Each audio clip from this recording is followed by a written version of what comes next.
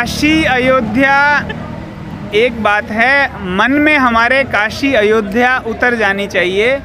जो शब्द राम है वो राम हमारे मन में उतर जाना चाहिए। तो मैं ये नहीं कह रहा हूँ कि जय श्री राम मत कहो खूब कहो लेकिन उसको जीवन में भी उतारो ये मेरा संदेश है। तो आपको लग रहा है कि उनके जीवन में राम नहीं उतरे हैं? जीवन में तो हम किसी के नहीं उतरा है। मेरे भी नहीं उतरा है आपके भी नहीं उतरे हैं। जीवन में जब उतर जाएगा तो ये धरती स्वर्ग होगी। लेकिन ये कहा गया कि अ, 2014 के बाद से ही और अयोध्या मंदिर बनने के बाद में राम को वो जगह मिली जो मिलनी चाहिए थी। उससे पहले उनको मिली नहीं थी जगह झुग्गी झोपड़ी में थी। मंदिर तो बना है इसमें कोई शंका नहीं है। और श्री राम एक टेंट में रहा करते थे। और जो आक्रांता वहाँ मंदिर को तोड़कर मस्जिद बना दी। और उसकी जगह इस्लाम में एक विधान है कि आप मस्जिद कहीं भी बना सकते हो। तो उनकी पूजा का जो स्थान था वो जगह बदल के कहीं और हो गया और जो श्री राम की भूमि थी वो हिंदू धर्म को मिल गई और वहाँ की वहाँ एक भव्य मंदिर बनने जा रहा है। तो ये तो अच्छी बात है। मेन बात ये है कि वो काम हो चुका है अब मन में राम उतारें। राम तो घट घट में है ना? राम घट घट में है लेकिन वो उतरना चाहिए हम लेते नहीं हैं। कहाँ तक ले? मैं तैंतीस करोड़ देवी देवता है ना सब। वो सभी का असेंस एक है। राम में भी रहीम है राम में भी शिव है शिव में भी राम है। वो सब में बसता है। राम बड़े या शिव बड़े? सभी एक हैं। जब एक ही हैं तो बड़े और छोटे का प्रश्न ही नहीं होता है। लेकिन आप बोल रहे हैं कि सबके राम है लेकिन अब मंचों से ये कहा जा रहा है कि अब तो राम के शरण में कुछ लोग और भी आने लगे जो कभी नाम नहीं लेते थे। बिल्कुल आते हैं तो आए तो और अच्छी तो बात तो है। ना कॉपीराइट वाला राम भी एक हैं रहीम भी एक हैं अल्लाह भी अल्लाह वर्ड संस्कृत में भी है। और वो भी हमारे हैं ये सनातन युगों युगों से चला आ रहा है और ये चलता रहेगा।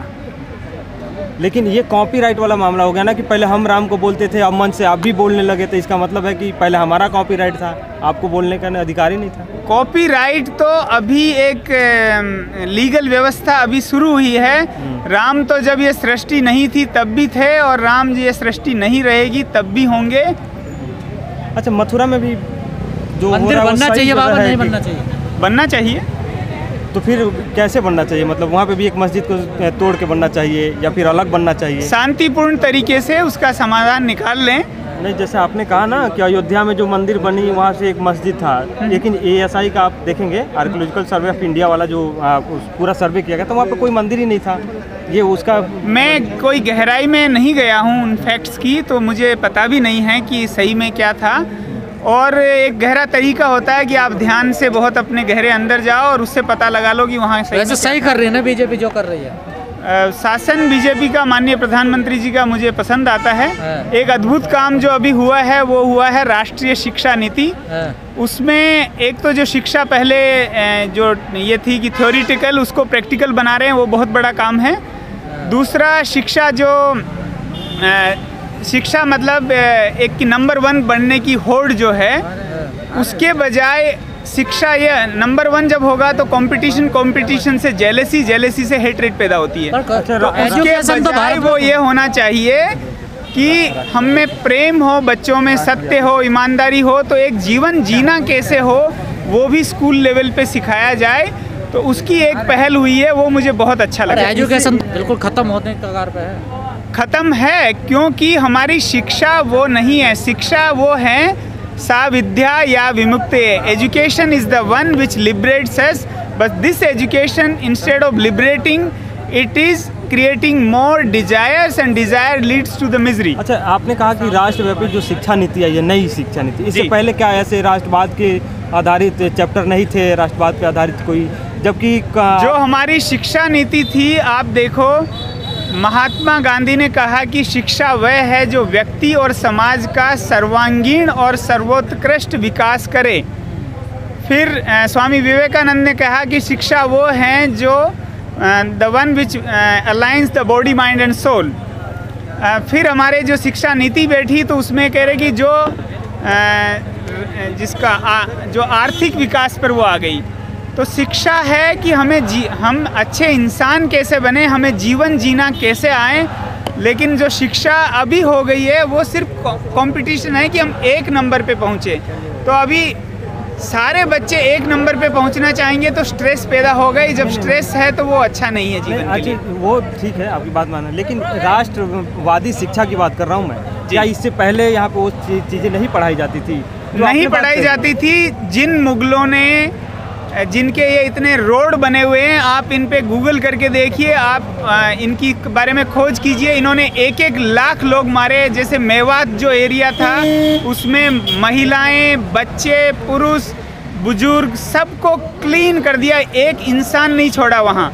इस तरह से जिस जिनको मारा गया मीन इवन आप ले लो जो अकबर जो जो सबसे अच्छे माने जाते हैं मुस्लिम आक्रांताओं में मुस्लिम जिन्होंने राज किया उन्होंने भी पच्चीस हज़ार लोगों को बिल्कुल मारा था उनमें महिलाएँ भी थी। लेकिन अकबर के सैनिक जो से, से, सेना थी हाँ। उसमें क्या एक समुदाय के लोग थे या दोनों समुदाय के लोग थे? ये दोनों समुदाय के भी थे। उन्होंने अपने अधीन रख रखा था लेकिन मैं ये जो बता रहा हूँ जब इन्होंने पच्चीस हज़ार लोगों को मारा था तो उस समय उन्हीं की सेना थी उसमें दोनों समुदाय के लोग नहीं थे। मथुरा की बारी अब आ गई है क्या? सही समय है ये? अभी मथुरा से पहले दिल्ली में पॉल्यूशन की बहुत बड़ी समस्या है। उसका बहुत सरल समाधान है जो दिल्ली सरकार को करना चाहिए। और वो समाधान ये है कि दिल्ली का जो पूरा जंगल है, उस जंगल में 90 प्रतिशत विलायती कीकर है। ये कीकर का पेड़ किसी और पेड़ को नीचे बड़ा नहीं होने देता है। लेकिन पीपल और उसकी प्रजातियाँ बड़ी हो सकती जैसे पीपल है, बरगद है, पिलखन है। जो बरगद का जो पीपल का पेड़ है, वो 87 परसेंट ऑक्सीजन एयर को क्लीन कर देता है। मतलब कार्बन जो होगी, उसको ऑब्ज़र्व कर लेगा और उसकी जगह ऑक्सीजन दे देगा। तो जो कीकर का पेड़ है, वो 11 परसेंट को करता है। 11 पॉइंट समथिंग। तो 11 इंटू एटी मतलब आठ गुना आपका ऑक्सीजन जंगल का बढ़ जाएगा। एक बात तो ये। दूसरा पीपल और जो कीकर है, उसकी जो कनोपी होती है, वो करीब 10 गुना का उसमें फ़र्क होता है। जैसे एक नॉर्मल जो साइज़ होता है, कीकर के पेड़ का, वो दो से पाँच मीटर तक। और जो पीपल का होता है, वो पाँच से पच्चीस मीटर तक।